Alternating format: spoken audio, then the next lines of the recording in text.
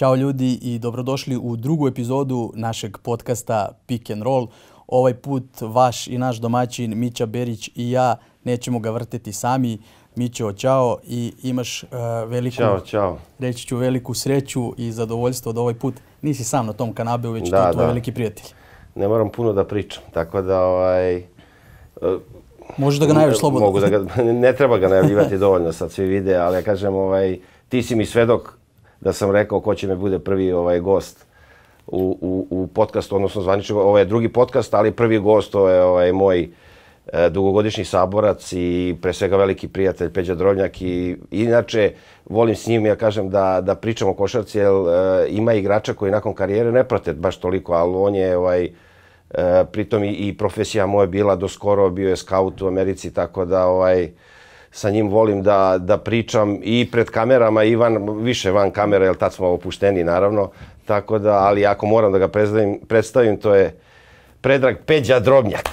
Peđa i sa moje strane dobrodošlicu je naš, našu košarkašku dnevnu sobu. Da. I verujem da će biti opušteno kao i, I van kamera. nadam se da nije ovaj zadnji put, ovo je sad otvorio, tako da posle kad nas navikne da ga svega- zovemo. Prije svega dobar dan i sad ste me malo, ovaj, ste mi nabili jednu nervozu sad sa ovom najavom. Da moram dobro da se koncentrišem šta ću reći i šta ću pričati ovaj, u ovom, ovih narednih Nemoj, posle eh, sve sat ide na mene, kaže, toliko si o njemu pričao i sad onda se zbuni, mislim, ali ja ne verujem moram, to. Ne moram, ovaj, sad nećemo možda ići toliko daleko i detalje, ali hvala vam Da. na pozivu i šta bi, bez da krenemo, nema Da. nam druge. Veći pritisak nego nekad u igračkim danima.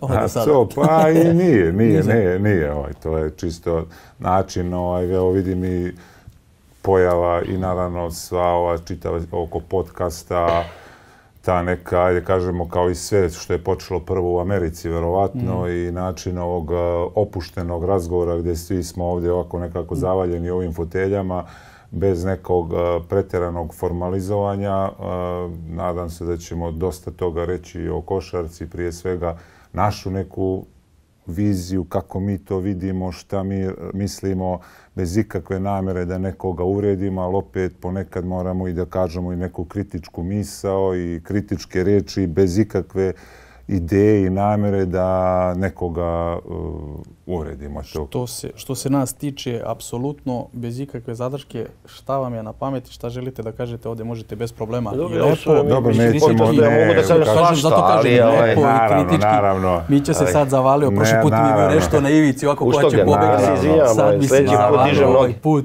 i mislim da će biti još bez ovaj... ikakve, bez ikakve Da. zle namere, ali Jasno. naravno ponekad ovaj, ljudi su izloženi tom nekom javnom komentarisanju, pogotovo uh, e, ovdje u Srbiji gdje je zemlja koja mnogo voli košarku, ljudi koji su evo, već decenijama i decenijama odrasli na toj košarci, svako ima svoje mišljenje, pa valjda i eto nas dvojica koji se smo se i profesionalno bavili time i imamo i neke, ne znam, ni ja, medalje, uspjehe, možemo da kažemo bez ikakve, kao što sam već rekao, zle namere, možemo da kažemo neko naše viđenje i neko naše mišljenje koje možda u nekim situacijama će neko imati nešto drugačije, ali ovaj, valjda smo tu da imamo tu neku e, razmi, e, imamo tu neku dozu pluralizma i da možemo da ovaj e, bez ikakvih tenzija da iznesemo različita mišljenja.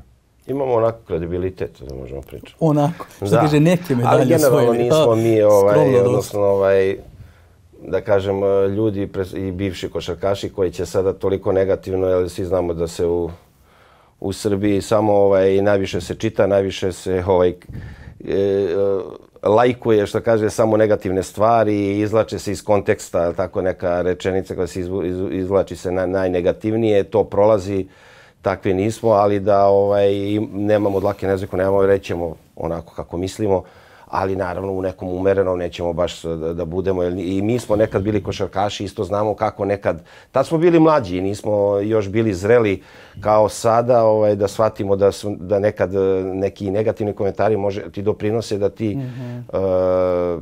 uradiš neke bolje stvari Iz u budućnosti. namere, tako, iz dobre ništa- namere. Ali je bilo, isto nismo volili, bilo je tu i jako loših onako zluradi komentara. Takvih, a tek danas, danas Koliko je se to promenilo koliko, sve se odnosu na- na vaše dane. I sada ovaj, znamo i svi da ima i tih, kažem, i bivših sportista, trenera koji tako nekad i po nekim emisijama pa onako hoće da ostave utisak, ali to je ta neka zarad neke trenutne popularnosti kada kreneš da pljuješ onako bez ikakvog razloga. Tako da, ali ovaj, pričamo o svemu, tako da... Bez problema. Bez sudeći, problema. Sudeći po tim što si rekao, lajkovima, šerovima, Da, da, komentarima, da, da. sve subscribe-ovima. Prva epizoda super prošla. Vidim da se ljudima sviđa. Onako, uželili su te se. Verujem da će im se još više sviđati kada budeš imao društvo kao sada na, na, na kanabeu. Pa Da. možemo i da krenemo od derbija. Eto, Peđa, vidjeli smo jedan, verujem, ajde vidi, reći ćete vi možda bolje, ali odličan derbi, utakmica onako napeta, neizvesna, pravi evroligaški, nešto što Evroligi verovatno i treba sa jedne strane, prvi evroligaški derbi ove sezone, treći ukupno, pripao je Partizanu. Kako ste vi sve to vidjeli onako Ma, ukratko u globalu? Neko, neko ko recimo gleda sa strane, ko nije navijač ni Zvezde ni Partizana, sad je kažem to prevashodno vjerojatno trebao bude neki stranac, a, je vjerovatno zadovoljan sa samim, samom utakmicom, prije svega zbog a, E, rezultata koji je išao čas na jednu, čas na drugu stranu i sigurno i na sama završnica gdje u, ne znam ja, mislim 4-5 minuta do kraja Zvezda imala plus 12, ako se ne varam. Plus, jedan, Plus da, plus, tri. 11, plus 11, 4, 49, na Tako, primjer. pa Tako je. desetak, 11 razlike za Zvezdu, nepunih 5 des- minuta do kraja. desetak razlike na manje od 5 minuta do Da. kraja i da dođe do preokraja da Partizan dobije, to je zanimljivo. Sad, sa stanovišta jednog ili drugog tima uvijek ćete naći zamjerke e, prema nekim igračima, uglavnom koji su to ovaj koji su promašili neka mislim jasno vam je ovaj da se ne sad e, vraćamo na te neke detalje o ključnim momentima a, što bi rekao moj Slobodno, neki ne. trener moj nekadašnji trener je da na kraju utakmicu dobiju slobodna bacanje i skok u napadu. I to je u ovom slučaju se pokazalo da najbanalniji, ono najprostije rečeno, ljudi koji su to svi vidjeli da Teodosićeva tri promašna slobodna bacanje, na drugoj strani 4-4 Zeka Ledeja, to bi otprilike bila neka odlučujući faktor, ovaj, bez obzira na taj uh, impuls i energiju koju je doneo, uh, donio Avramović sa svoje dvije trojke i sa Dao onim... 12 pojena u Da, i sa Da, da, verovatno onim ja, recimo, ako govorimo o detaljima, da ne ulazimo sad u, u igru, ali detaljčići ti koji odlučuju na kraju, za mene čak je najodlu, najvažniji detalj, ona presječena lopta i ona jedan onako pas ovog eh, Šabaz Nepira bez ikakve, kako se zove, koncentracije u stranu gdje je omogućio za 7 sekundi pet lakih pojena. To je, a je sad ako bi ovaj, išli u detalje igre i ovaj način pripreme i koje, koliko će toga zavisiti, očigledno je da ovaj početak sami ovaj i eh, loš šuterski početak Crvene zvezde, dobra igra prije svega ovaj Kaminskog eh, na niskom postu i na nekim ovaj eh, i rol igre iz pick and rolla su omogućili Partizanu da napravi neku veću razliku. To se to je kasnije Zvezda počelo da pogađa, počelo da se igra, počela je recimo prije svega da koristi, ajde da kažem, na lošu odbranu Partizana od pick and rolla gdje su oni sa ne znam nija kratkim rolovima i, i dodavanjima nalazili te lake šuteve koji su oni pogađali. I to je Partizan i onda u nekoj trećoj četvrtini naročito ušao u neku e, kao da se zarobio sa nekim izuzetno teškim šutevima iz driblinga, bez ikakve ideje, tu pre svega Panter, Jaramaz, par šuteva, svi su nekako pokušavali iz, najteže momente iz šuteve iz driblinga sa 4-5 metara i Zvezda je to iskoristili i već sve znamo ovaj pomenuta završnica od 4-5 minuta koja je ovaj donijela tu prevagu na kraju ovaj da Partizan dobije tu utakmicu. To je onako, naravno, ajde sad da kažem, tu i Željko Obradović povukao potez u jednom momentu da igra sa četiri, niskom, sa skroz niskom postavom, pokuša, Nanali čini mi se da je igrao na, Četiri. na četiri, ovaj, ovaj, da je tu nekih ne znam koliko minuta. Verovatno i taj moment je donio, ono, znači kad ovaj, morate da budete kreativni na kraju i da pokušate nešto kad vidite kola da idu nizbrdo. Očigledno možda i to malo ovaj, zvezdu ovaj, poremetilo ta igra sa četiri niska, da nisu mogli da dođu do rešenja. Oni su pokušavali nešto, ne znam, ja mislim koga je čuvao Nanali Bolombo ili tako neko, pokušavali su da spuste loptu na niskog posta, ali to im nije uspjevalo i tu se poremeti čitava igra zato što oni vide to i onda kao na silu pokušavaju da spuste eh, loptu na niskog posta. Opet s druge strane, Bolomboj bez obzira što za mene naj taj kažem, prijatnije nezaneđenje. Bio sam potpuno ovaj šokiran ovaj njegovom igrom, način na koji on sve prethodne sezone igra u Euroligi, gdje je bio čista rol petica koja hvata Eliupove sa dobrim playmakerima, A sada sa šutem oni za tri poena, jedan šut iz driblinga, prodor uz out, bio, potpuno sam bio ovaj, pravo da vam kažem, po, i djelovao kao da je došao iz NBA. I sad, Niste ako, jedini sigurno djelovali šokirano. Ako nastavi, ako nastavi tim ritmom, to će bude nekako, sad vidjet ćemo kako će se stvari Jasne. odvijati, ali kažem da on to jednostavno nije uspio u tih nekoliko napada da riješi taj, a oni su kao pokušavali na silu da mu dodaju loptu, da misleći da će sad time da reše na niskom postu, što on realno nije takav tip igrača, bez obzira što ga čuva Nanali koji je značajno niži od njega. I tako da, eto, to malo, ovaj, to je neki, det, ovaj, otprilike, na, u kratkim crtama kako je to izgledao taj derbi, a opet sve se svodi, verujte, na jedan igrački kvalitet, sve se svodi na kraju krajeva na igrače koji u, aj kažemo, Euroliga, pa i NBA i Euroliga, gdje je sve sada, ako niste centar od 2.10, 2.15, ajde kažem, koji igra ispod koša i koji bi a, morao da šutira slobodna bacanja besprekorno, sve ostalo se svodi na šut. I da jednostavno ako ne možete da pogodite, vi ste neki ovaj slaba karika u tom mm. lancu i uvijek će kad krene rotacije, kad krene u pomoć, neka ta igrač će ostajati sam. I uvijek će biti pomogni sa njega, tako da to je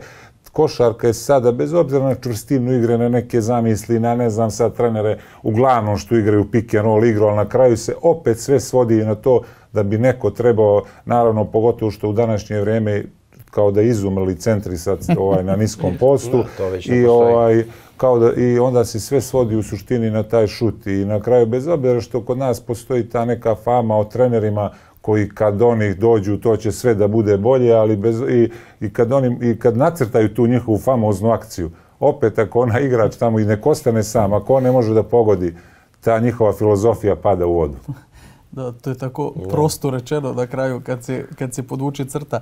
I još nekoliko stvari smo otvorili, sad pričate, Teo promašio bacanja, on je od pet vezanih bacanja promašio tri. Promašio od tri, da. Pogodio prvo, Ali ovo ja kažem, ovo ja sam, ajde kažem, ne da se ponavlja, ono je bilo ovaj, to je ono kad sam imao studio to, i pre početka i na poluvremenu i to. Rekao... I ovo sad rekao da kažemo što je i Drole rekao za Bolomboja, realno sigurno njegova najkompletnija i najbolja utakmica u karijeri bez ikakvog onako bez ikakve priče.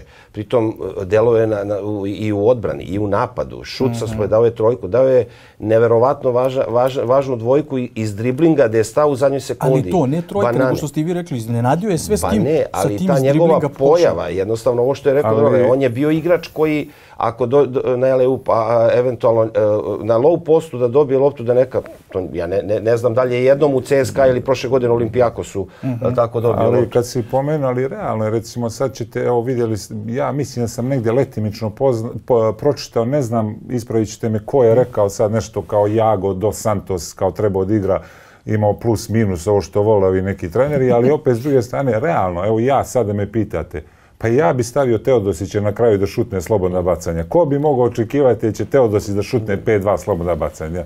Potpuno je to neki logični sled događaja, logično ovaj, da, da, da, da taj potez napraviš. Što bi rekli, da, lako je biti pametan tako, posle. Sad pričate o Jagu je šutirao tako. trojke, imao je te momente gdje on mogu da ali, pogodi, što mu nije jed, dodao da. samom Jagu kad je bio. Ali ako Teo ima loptu u rukama, Pa logično, znači, tako da je, Ja sam i rekao da, kažem, ako neko pomisli da na Teo ovaj baš sam ovaj baš u tako u live-u pričali i rekao ako neko Ali iole pomisli desi se da. znači desi se ta promaša i najsigurniji izvođači slobodnih bacanja. Ako se rekao neko razmi, misli da će tako u buduće i da folira te rekao da se ja bi i dalje te udao ovaj pored mm -hmm. tih recimo dva od pet uh, i delovalo odlučujuće i sve to, ali definitivno igrač koji redko kad pritom onakva uh, onakva, uh, onakvi zizvuci, onako mahanje za koša. Ja sam tačno bio nasuprot i gledao, uopšte nije baš toliko ni bilo prijatno. E, nije baš navikao Teo u toj meri da ono, ali, ali, ali, ali, ali, njemu, ali to... Pa nema, ne, ma nije to. Ne, ne, nema veze, to, nema veze sad da je zbog toga, ali hoću kažem, ozbiljno je bila ozbiljan, ozbiljan pritisak Znam, je bio. Ali igraču 36 godina da zadrkao ne, ne, tako ruka. Ne, nije njemu pa zadrkao. Pa to kažem da ga atmosfera tako je metila. Ma nije, nije, to jednostavno desilo se, šta nije... A, ali opet je, ali ovo recimo za Jaga, uh, uh, ovo što je Drole rekao, uh, nije on možda umjesto te, ali u jednom trenutku, Partizan je imao problema sa, sa Jagom i imao je njegov šut, uh, dao je tri trojke, dao je 11 pojena u drugom polovremenu. Mislim da je Neipira mogao u jednom trenutku, mislim da je predugo bio na klupi gledajući. On je od, izašao recimo nekih sedam minuta, nešto ja sam gledao posle na miru. Pa dobro, ovaj, mi, mi ali, situacija ali to je u košarci, situacija u košarci. Ne samo ono... situacija u evropskoj košarci je sada. Recimo ja imam osjećaj da treneri bi najrađe da imaju između 15 i 18 igrača i da ih stalno rotiraju u isto vrijeme na klupi i da svaki put jednostavno postoji jedna druga stvar što većina tih trenera uvijek morate eh, na kraju ja eh, ne mogu igrači nisu roboti pod broj 1. To ne znači ta igrač mora da ima jednu stabilnost, sigurnost, ima minute. Vi morate da se, to je moje neko razmišljanje, da jednostavno i morate da se odlučite ko vam je petorka, da se to, mm -hmm. ko su igrači koji ulaze sa klupi i na kraju krajeva ko možda će igrati minimalno, osim u nekim utakmicama kad ima nekva i kaže, ukaže se više prostora.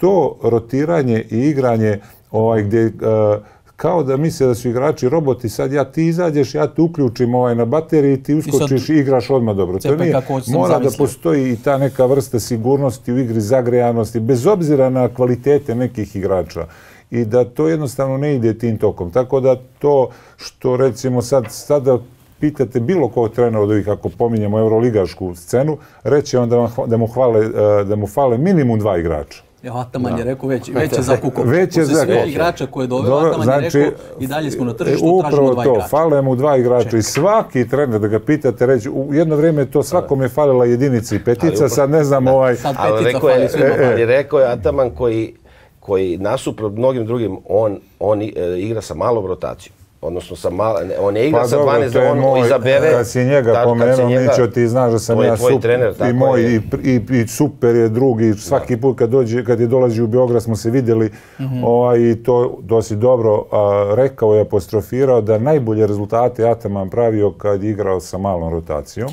Jednostavno, to je njegov stil igre i on ima neki igrače koje mnogo voli i jednostavno igrače koje voli, on ga pusta da igra ovaj, i ti on igra, daje mu slobodu, daje mu totalnu slobodu. I ako on vrati to, tu rezultati dolaze. Svaki put kad je Ataman pokušava da igra sa većim brojem igrača, rezultati nisu dolazili. Da li je to bilo u Efesu ili ovaj, u nekim drugim timovima, u nekim ovim kratkim, uglavnom u Efesu, ovo što je bilo Bešitaš, Galata, Saraj, kratki izlet u ovome Fortitudu, sve to nije imalo tog nekog prevelikog smisla i značaja, ali jednostavno on voli da igra na taj način. Do duš, on aj kad se njega dohvati, on pikira da budem kratak malo, on uvijek dovodi dobro bira igrače, mm -hmm. ali opet s druge strane mora da bude trener u klubu koji ima budžet bez limita i jednostavno to mogu da izdrže samo par klubova u Evropi. Inače, ako bude trener Galatasara i Bešitaša, ti timovi posle su u ogromnom problemu financijskom, jer ovaj, ne mogu to da izdrže. A mislim Tako da, da je ovde, pazi, mislim, dotakli smo se mi i njega i, i ovaj, u prošle nedelje, kažem, u prošlom podcastu i trenera koji eventualno, tako može, pričali smo o eventualnim tim otkazima, ovaj, kakva je tenzija i kolika, kolika očekivanja su prevelika nakon pet kola nekog malog i onda smo, eto, pričali smo i o Čanku, eto, desilo se da je maltene dan nakon dan podcasta dobio, mislim. to je videlo, eto, ti si sad eh, pred početak emisije rekao da ovaj neke stvari, razumeš, koje su se možda bile vidljive i u pripremnom periodu, ali evo sad e, sinoć upravo ovaj uh, Efes uh, sad smo ga spomenuli ali dok je trenirao Ataman ovaj u ozbiljnim problemima igračkim mm. ovaj i i pre svega rezu, rezultatskim pa, izgubili su gledaj, i to i to 20, 20 razlike ti jesi to pravo al timovi recimo to postoji problem kod svih timova koji imaju koji naprave recimo kao što je Efes koji igrao 3 4 5 godina da nije bilo korone i on bi vjerojatno možda i tri puta bio prvak Evrope. I je najbolje igrao. Najbolje igrao. Da se ne lažemo, najbolje igrao u vreme finale, korone. Igrao i finale godinu dana ranije u Vitoriji. Znači on je u teoriji četiri puta za redom mogao, igrao, mogao da bude dosvi. I jednostavno ta ekipa je došla na do kraja i ne može više i to to je Ataman, verovatno Vasa Micić je na kraju otišao i Ataman je ovaj, to osjetio sigurno mm -hmm. i zato mu je trebala promjena i svaki trener koji dođe u tu jednu ekipu, još pogotovo ako ostanu igrači kao što je ovaj Larkin, Larkin Klajburn i ne znam još pa koji više jednostavno došli su do plafona, do, ne mogu da. A ne, upravo prošle nedelje sam rekao u ozbiljnom problemu je Džan, Džan. koji je definitivno učio, koji je pritom pr- prethodnu godinu od, izvanredno, ali tako, Sve Tur te- Telekom. da, da. I on je u- došao u tim e, među igrače koji nisu više gladni, koji nisu znate, ne igraju Pa za dobro, ne mora, ne mora ne, ti, ne, ali ne, moraš da daš gladne. tu apostrof, o, da apostrofiraš nisu gladni, a više ne, nisu bi više rekao da jednostavno ne mogu više. Pa ne mogu, nisu u igračkim godinama, ne više, mogu više i- zrele, onaj najbolji. a- i- Istrošeni, zasićeni, Da, zasićeni i opet to. rade Ne ono kažem isto što ja su to gladni. s nekim novim. Ovaj, da neće, da, da ne žele, I svako želi da to osvoji, je sad ali... je pitanje šta... Samo šta, i mislim da, da je tu njegov sad autoritet i to koliko vidim, ja par utakmica koje sam gledao, ta nezainteresovanost Klajburna, ja kažem, pre Pa, svega ne. Klajburna, to, to ja stvarno, ja bih volao, recimo, u jednom trenutku da pomislim da igra u Partizanu ili Zvezdi, ode i, i sa onakvim... Ovaj, Kako bi se proveo. Kako bi se proveo, to bi bilo, ja kažem, ali jednostavno, to je ono, ovaj, a, a mislio sam, za vreme Final Fora, on je potpisan za vreme Final Fora u Beogradu, Dobro. kada je Efes osvojio.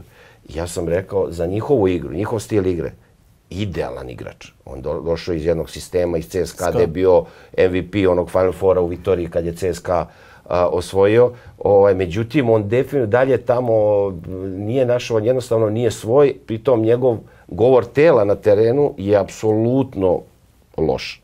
I evo sada, evo kažem, ovaj sinoćni poraz. I, i pričali smo Pitanje- koliko će pritisak javnosti biti. Ja, ja ne bih voleo da Džana, mladog trenera, ma ne, pitanje, sklanjaju, razumeš? Da, Mićo, pitanje, ja to ću verovatno i znati, pošto s- kad se čujem sa nekim mojim drugarima iz Efesa, ali ovaj, pitanje šta Efes hoće. Da li, on, da li on vidi to da je Džan perspektivan trener, Aj. dobar trener, da treba da ga ostave i da jednostavno je došao u ekipu koja je svoj zenit davno prošla i da treba da mijenjaju, ili oni misle da je ekipa dobra, ali je trener loš. pa To je dobro. pitanje št, kako oni vide pa to situaciju. je- sad, to je možda će, kluba. oni, možda će oni da kažu Džan nam je super, ovaj, i odličan je trener, nastavljamo, umeđu vremenu ćemo ekipu Tako. da izmenjamo, bit ćemo spremni za sljedeću godinu, a možda će da kažu kao kako smo se zeznuli slanja i Džana. To sad mi ne znamo, znači tako, kad, kako oni vide to ali, na nas, to zna- postoje... Ti pritisci, ja, sam prošle nedelje pričao upravo o tome. nije- kolika je ne- težina jednog kluba da ne po- izdrži pritiske društvenih mreža i svih, svih Ne stvari. postoji, koje- Mićo, ali što u Efesu, tiče što se tiče nema Efesa, nema. pritisak zato- javnosti. U Ne, nema je- toliki, ali u zadnje vreme ima. Ma Nije ne- više toliko kao što je nekada pa, da gledaj, nema zato ja ću ti reći zašto, pošto znam, to je, aj kažem, moj klub posle Partizana, klub koji najviše i volim, gde sam na kraju krajeva i ovaj, dosegao neke novi neki korak posle Partizana i znam kako funkcioniš u Efesje, eh, iako je klub koji je 80. krenuo da se takmiči, 90-ih je bio uz, bez navijača, koji su mladi klinci koji su dolazi dovozili ih autobusom da ovaj gledaju utakmice koji su ti klinci su sad porasli oni su se Plaćali vezali sendviče i vodu. a, dobro ti praviš aluziju Ne, na pa nešto dobro, drugo pa ali dobro, dobro Ali, ali je tako i bilo pa stvarno. nije nije Iz centra bilo su ih dovodili. nije ne oni su A nisu dovodili iz uh, provincije. ne ne oni su bili. ne nije oni su pa bio sam tad znam Da, kako da, je to išlo i to je uglavnom su dovodili još ranih 90-ih, ono kad su Da, da, stvarali, ti znaš. ali ti, postoji jedna druga stvar. E, Efes je sa, recimo, dvije, dvije veoma bitne stvari, a to je što su ti ljudi, ti klinci porasli i oni su napravili svoju konekciju sa Efesom i Tako je, Efes da. je njihov klub. Druga stvar je što se ta dvorana Sinan Erden nalazi za istambulske prilike u super na jednoj odličnoj lokaciji, poziciji, gdje što je za Istanbul nepojmljivo, nalazi Ne, se zašto na... kad u Istanbulu nema gužve još? Na, po, na, za, na, nisam samo mislio na gužu, dobro, nego sam mislio nalazi se u jednom evropskom kraju, u jednom dijelu grada koji je kao opština, taj Bakir koji ima jedno 3-4 miliona stanovnika, samo kao jedan dio grada i kao opština, gdje ti možeš peške da dođeš na tu, na tu, tu dvoranu. I da su oni po prvi put, Efes prije nekoliko godina, počeo da prodaje karte regularno za domaće utakmice. Tako da je to su dvije stvari koje su Efes digle, ali na tome su očigledno mora- morali da rade 20-30 godina da bi napravili dobro, tu. I, ali opet s druge strane ne postoji ovaj taj ne postoji taj pritisak uh, toliki javnosti i da to će verovatno je veći pritisak od kako će ta vlasnik i kako će taj neki sportski sektor njihov da vidi ovaj, kad si se Ne, već dotekao. Ne, to da, ali suvišno je, ne, ne me poredim sa Fenerbahčeom, Galatasaray, Bešiktaš, što svi, svi znamo ko, koja, koju armiju navijača oni imaju, ali već oni dolaze, ulaze u drugu i maltene treću generaciju, kažem, oni su počeli 90. godina, sad je već e, u smislu da imaju ovo što si rekao. Klinci su bili, pa sad su postali roditelji, pa njihova deca i sve se to prenosi. Ali I nije- ti, taj uspeh Efesa stvara jedna, jedna vrstu pritiska, ne o kako ima Fenerbahče ili Galatasaray i to. Ali nije, nije. Ali ovo što si rekao, bitno je ta, ta e, veličina kluba težina. Ako oni e, e, znaju i oni ne- uopšte ne žele da podlegnu pritiscima sa strane, ono, to je prava klub. A, Pa ne. a to sam se dotekao Tur Telekoma, ali tako, eventualno su čaka Čanka. oko Čanka, ali Da to li je će to. da ga kada, istrpe, da li će, da neće. da ostane, I da li će da jednostavno sačeka. Oni imaju loše je- rezultate, ali ono Tako što je. ste i vi Ali rekli... to je zato pričali pre, veličina kluba između Tur Telekoma i nije to, Efes. Nije to izgledalo onako kako treba i nije išlo u postoji, pravcu kako postoji treba. jedan generalno, ja bih rekao iz moje vizure, a, a, problem, a to je prevelika amerikanizacija evropske košarke i da vi sad u kao, evo, Tur Telekoma sa 7 ili 8, ne znam nija koliko američkih, u stvari što se tiče Turske pet, pošto je tamo ovaj, u domaćem prvenstvu mogu da igraju pet, a vjerojatno su imali i dva za Evropu. Pa da, to je Kad vi bilo imate maksimum. recimo neki 6-7 američkih igrača, vi ste automatski u problemu. Njihov način razmišljanja, kako oni prilaze ovaj, igri, kako prilaze problemu i vi kad dođete u ovom slučaju Čanak, moj drug koji je ovaj perspektivan i dobar trener, ali jednostavno na, na taj način je šanse su mu bile veoma male da opstane tamo.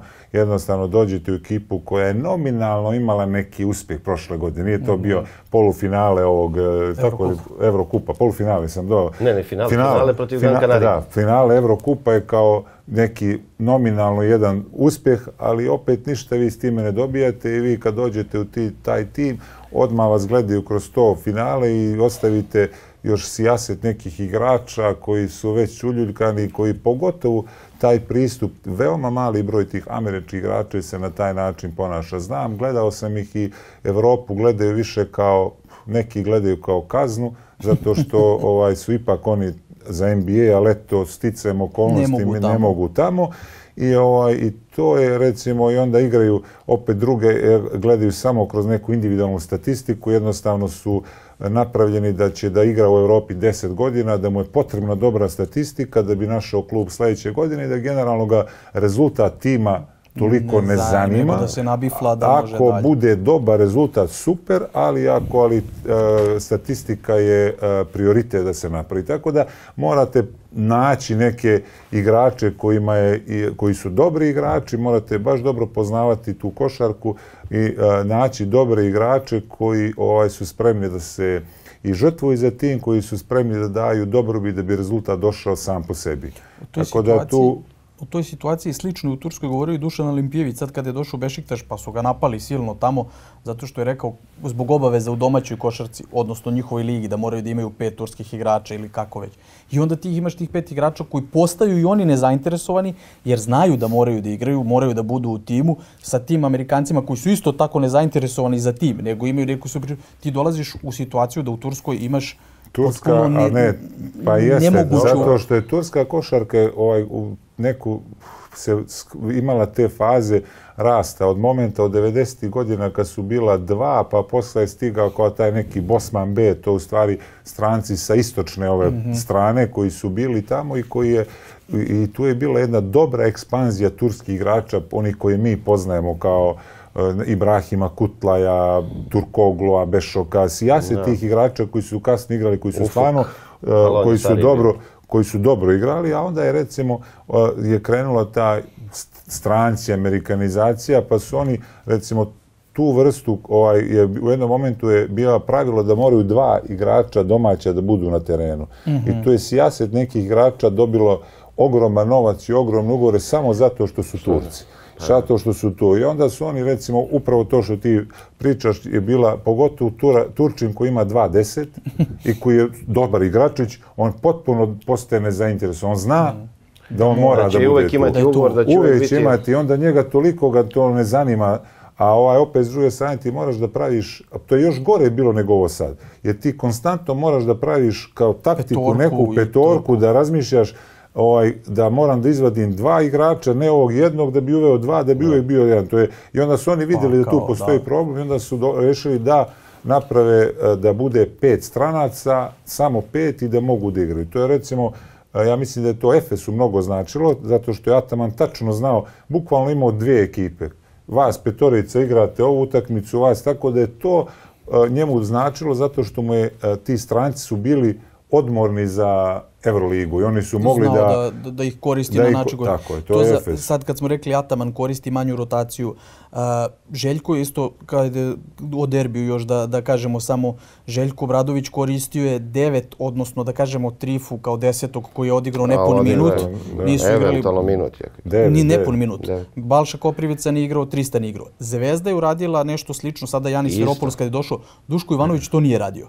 Uh, kao neko koje vi kao ste igrači bili, da kada se dešavalo da igraju Manja. svih 12 igrača. Pa, manje, to je ja Duško sam, radio. za, ja Ne. sam za manju rotaciju i onda svi pričaju, ne, ja, ja ne priznajem da igrači de, ne mogu da, ako ne možeš da igraš dvije utakmice, 30 i ne znam koliko minuta nedeljno, onda ti nisi spreman da igraš. Znači svi, evo NBA imamo četiri utakmice, sad ti ako uđeš i vidiš to, vidjet ćeš da svi ovi njihovi Glavni. najbolji igrači igraju 40 minuta u prosjeku. Ne, oni, znači, Tokom sezone ma, a, mislim da im e, Čet- bolj, do četir- 40, evo, 35-6 minuta. Veruj čoveku šta. Čet- 40. Do, od 37 do neki do 41 su A onda u play-offu to ide od A onda, 45. a onda u play-offu ne izlaze, recimo, ne izlaze. Znači, to je, jer NBA tačno se znaju onda oni svoje uloge i jednostavno, ti, a to su u NBA je prosjek četiri utakmice, tri do četiri utakmice nedeljno. Ovdje u Euroligi, po, a druga stvar što recimo ovi prvenstva neka, kao što je Jaba Liga, kao što je Tursko prvenstvo, kao što je Grčko prvenstvo, te Euroligaške ekipe tamo imaju mm, 80% lakše treninge. Znači tu jedino kao Španci da kažeš imaju teža neka liga, svi ostali imaju lakše treninge neke. ovaj, evo, 3-4 ove lige što smo nabrojali, kod njih Italija, je... Španija, Ita- Grčka, e, kod njih su Turska. E, Turc, Turska, Grčka, a, ABA liga, lakši i onda oni mogu, kako igrač ne može da izdrži da igra 33-4 utakmice. Kod nas postoji jedan drugi problem, a to ću ti, zato što malo se to možda promijenilo, zato što treneri a, forsiraju izuzetno jak i naporan ritam na treninzima i onda ti recimo tebi taj neki uslovno rečeno ponedeljak bude gori nego da si igrao utakmicu. Eto, to, tu dolazi, znači ne postoji taj balans kao što postoji, ako se vraćamo u NBA-u, ne postoji balans, evo recimo od, sad od skoro, u zadnjih posljednjih nekoliko godina su treneri se vratili na taj sistem jednog treninga dnevno koji je produžen u zavisnosti koliko ste vi doprinili, koliko ste potrošeni, koliko ste imate taj trening i mlađi, mlađi igrači, recimo primjer radi trojicu, ovo što si ti pomenuo da nisu igrali, recimo ako se držimo Partizana, oni sigurno bi trebali da imaju jedno sat, dva trening duži sa nekim individualnim radom, a ovih što igra Pante, recimo 30 i nešto minuta, on ima striktno trening koji se dešava u nekom taktičkom smislu. To je taj NBA modalitet, Inače, ranije su bili ovaj kao ne mogu da igraju, ne mogu kad ponedjeljak i utorak je pakao treninga i ti si gore, ti je bolje, kažeš daj, Još dvije utakmice. daj da igram još utakmicu, lakše mi je da igram nego, jer na, na utakmici ti igraš što traje, minjate neko pauza, a na treningu to je dva i po sata bez Ne ikog, te nema, nema pauze, nema izmene. Recimo, tako ti Što me neki... sad ne menjaš. e, neki, e, neki takvi, takvi momenti. Znači, to je recimo čitav taj balans koji bi trebao da se napravi da bi igrači mogli da izdrže taj čitav ritam i da, da, da igraju i da treniraju. Da, ta veliki trojica, je veliki ta broj trojica u. Zvezdi koje nisu igrala ovaj put su bili uh, ovaj Stefan Lazarević, Dalibor Ilić i treći je bio Simonović. Marko Simonović, Simonović. koji bi vjerovatno igrao da, da- je bio, on je imao, izvini, Bolest. Ima neki- imao neku virozu pre, utakmicu pre i tu je preskočio, sada je vjerovatno sedeo na klupi, možda bi bio taj deseti. Da. I Sferopulos igrao sa devet, što Duško Ivanović uopšte nije radio i tu fali Kuzmić koji je bio, Tako, ko- ali imaš povređene Lazića i Nedovića. To je najveća razlika recimo u kratkom vremenskom od utakmice recimo u Kaunasu Žalgiri Zvezda. Mislim da je u petom minutu Zvezda već igrala sa 11 igrača. Da. U petom minutu prve četvrtine.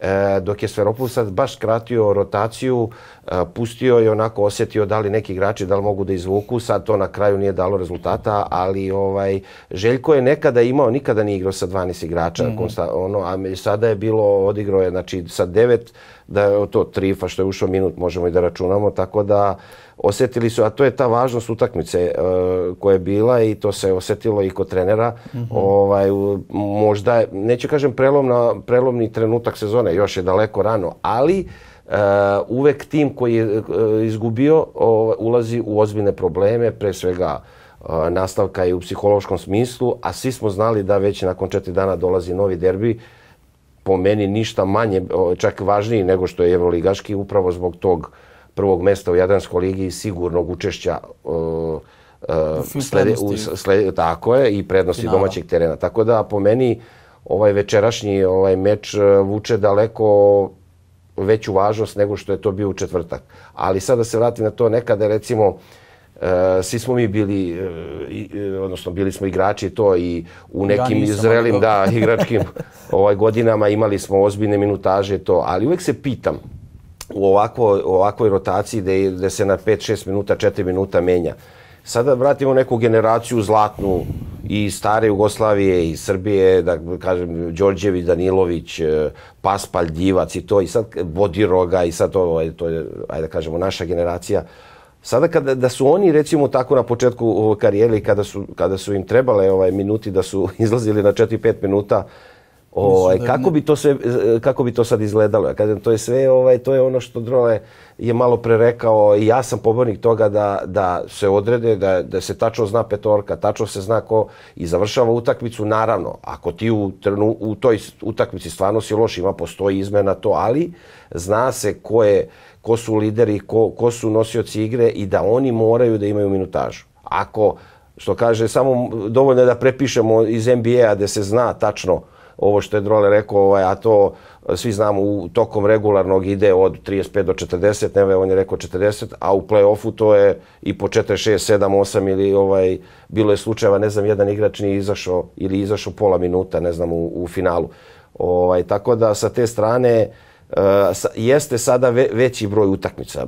Ne može se poredi sa ne, nekadašnjim 70, brojem. 80, tako je, to su velike, ali i, i, i, i, slažem se sa Droletom, uvek sam više volio da igram utakmice nego i ovo što je rekao. Ako ti stvarno ne možeš dva puta nedeljno da igraš, pritom to nekada je bilo igrača i po 35-4, sada odigraš 30 minuta, da ne možeš dva puta nedeljno, onda stvarno onda ili dovoljno ne trenaš, nisu u dobroj kondiciji, tako da... Ali jednostavno to, to je ta moderna košarka, sve se menja, evo dotakli smo se i tih petica koji su u izumiranju da više ono low posta, ovaj skoro i da nema, sve se svodi na pick and roll ovaj, i šut s polja, tako i eto i te neke stvari došle je do toga da, da se maltene rotacije, da se ide, ne, ne igra duže od 4, 5, 6 minuta u kontinuitetu. Ovo što si rekao da je ovaj derbi bio odigran bio bitni, da ovaj abaligaški će biti bitniji, uh, ne bih ja mnogo da pametujem, ali ne bih se do kraja složio iz prostog razloga što kogod je dobio ovaj prvi derbi, u ovom slučaju Partizan, ulazi motivisaniji, nekako u boljem raspoloženju i dalje, ulazi sa 2-3 iz Evrolige, Zvezda ostaje na 1-4, posle toga Zvezda, e, posle ovog Aba Ligaškog derbija, dočekuje Bayern kod kuće u četvrtak. I to sad, ne, teo pod sam, teo sam kažem, Zvezda ne sme da izgubi. Ne, svaki derbi je bitno, znači tu nema šta i svi Znam, znamo. Ne, ne, ali u ali... smislu da će mnogo drugačije odrediti neke stvari. Ok, izgubi Aba Ligaški derbi Partizan. Zvezda ostaje maksimalna. Da, sad... ali recimo na početku, da ti je neko rekao, da neko kaže sad, navija, e, Partizanu, recimo, pobedit ćeš u Euroligi, a izgubit ćeš u Jadranskoj, misliš da bi, da bi Željko prihvatio? Hoću kažem, ta, po meni, pa ne bi ni jedan poraz, ali kad bi se vagalo važno, zato kažem, upravo zato zbog, ja gledam tu napred kroz, kroz to eventualno uh, igranje finala domaćeg terena, ali Partizan da izgubi Jeste, večeras. Ali je u ozbiljnom problemu zato što je već izgubio od Mege, izgubi sa Zvezdom. Znači, to je Ali maltene... Zvezda prošle godine izgubila Zadar, izgubila Cibonu. Ima Ali to se neće desiti. Ove godine to nema šanse da se tako, moje mišljenje. Moguće. Tako da, zato sam to rekao u smislu, ne zato da je sad kao nebitna, apsolutno je bila u psihološkom smislu ne, bitna ne, mislim da je nebitna, četvrtak. Da ovaj... Ali važnost kada se vaga u ovom trenutku, to je moje mišljenje, znači ovaj, da je Jadranska liga, jer svi znamo, da jednog da kada se završi to sam i prošle pro, da prošle ja prošle godine prošle emisije pričao svi znamo da će kada se kada prestane rat Ukrajine kada se vrate ruski klubovi ako se ne proširi Euroliga teško ima da ćemo imati dva predstavnika. I zato gledam to u napred kao kao finalista i pobjednik Jadranske lige. Imaš neku informaciju, prestaje rat u Ukrajini, znači za sljedeću godinu se spremamo. Pa dobro, ali dobro, već evo vidio si u futbalu da već vraćaju Ruske, ja kažem, to je pitanje samo po meni danas- vremena i ja, gotovo sam siguran da će sljedeće godine se ovaj, evropski klubovi vratiti u Euroligu. Danas je pojavila informacija da 2025-26, znači za dve sezone, ne sljedeća, nego za onu tamo, se sve više radi na tom formiranju naše lige. Kad kažem naše lige, Srpske lige, gde se i selektor Kari Pešić uključio, to je direktor takmičenja Gruin, direktor KLS, rekao kao radna grupa, da je Kari izrazio želju, vidim nešto, jel verujete u to ili... Ne znam, ovaj, ja realno sad mnogo, mnogo aspekata ima i veoma teško mi je da kažem. Ja re, jednostavno možda zbog toga što smo nas dvojica ovaj, izdanci te domaće lige mm -hmm. i opet je to drugi vremenski period bio i tu postoji mnogo, mnogo stvari koji bi trebali prijet samog ovaj, da se vi recimo govorite o tim nekim, vi imate